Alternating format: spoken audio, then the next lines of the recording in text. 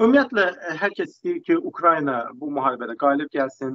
Çünki Rusiyanın qalib gəlməsi keçmiş Sovet İttifaqı, dəmir pərdə, sosialist bloku, keçmiş Sovet İttifaqı respublikalarının Moskvanın orbitasına qaytarılması və bu şəkildə bir çox fəsadlara səbəb ola biləcək. Bunu Moskvada çox yaxşı başa düşür, Ukraynada, Avropada və biz hamılıqla optimizmimizi itirmirik.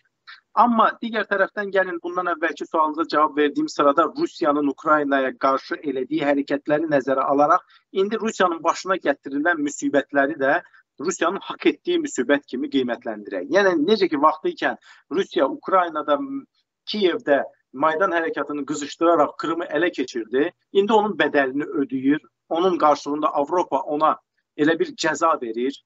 Ona cərimə ödətdirir. Ukraynanı olduğu qədər silahlandırır.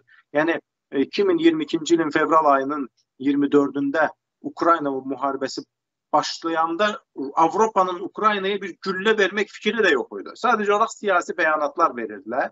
Amma vaxt keçdikcə biz gördük ki, Avropa varlığı ilə Ukraynanı dəstəkləyir, hər şeyi ilə artıq siyasi bəyanatlardan çıxıb, bəzən siyasi bəyanatlar hərbi fəaliyyətlərlə düz gəlmir. Yəni bir yandan deyirlər ki, biz Ukraynaya heç nə verməyəcəyik, Mistral verməyəcəyik, e, e, yəni savaş uçaqları verməyəcəyik, roket. Amma o birisi tərəfdən də milyardlarla dollar şey yardımlar göndərilir və bu yardımların bir çox hissəsi hərbi sürsat şəklində göndərilir.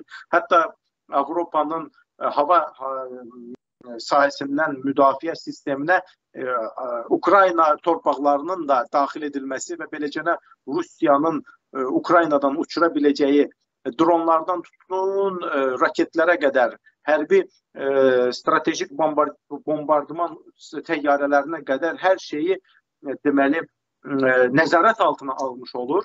Və bütün bunlarda həmin o Avropa eləyir ki, hansı ki başda deyirdi ki, biz Rusiya-Ukrayna müharibəsinə qarışmayacaq. Bütün bunlar nəyi göstərir? Nəinki jurnalist Fuad Abbasov, heç Avropanın özü də optimizmini itirmir. Rusiya-Ukrayna müharibəsində Ukraynanın qalib gələcəyinə inanırıq. Ən azından yəni Rusiyanın bu məsələdə o ayının gücünə, qüvvətinə ayının o e, caynaqlarına qalib gələ bilməsək də, ayının elə bir həssas nöqtəsi var ki, burnu kimi, o burnundan bir dənə şapalaq vuranda ayı geri çəkilir. Niyə? Çünki burnunda hiss elədiyi acı onun o bədənindəki gücə bərabər olur. Və e, belə baxanda bir çox heyvanlarda Məsələn, dənizlərin ən vəhşi heyvanı akula sayılır. Akulanın ən həssas nöqtəsi burnudur.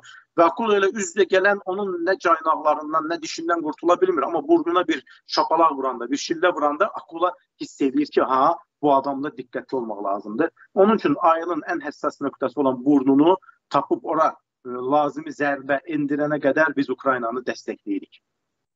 Você chega